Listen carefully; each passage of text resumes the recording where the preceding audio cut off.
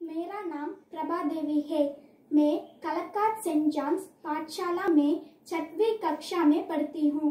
मैं आप सभी को स्वतंत्रता दिवस की बहुत शुभकामनाएँ देती हूँ।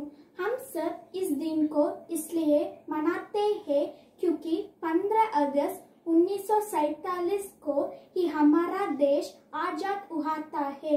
महान त्याग एवं कड़ी मेहनत से प्राप्त इस आज़ादी की रक्षा करना और भारत को प्रगति पथ पर ले जाना हम सबका कर्तव्य है।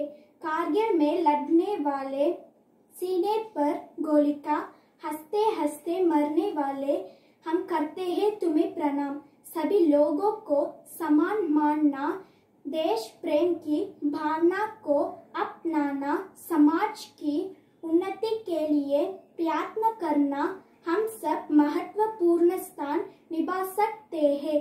सारे जहान से अच्छा हिंदुस्तान हमारा। जय जवान, जय किसान। धन्यवाद।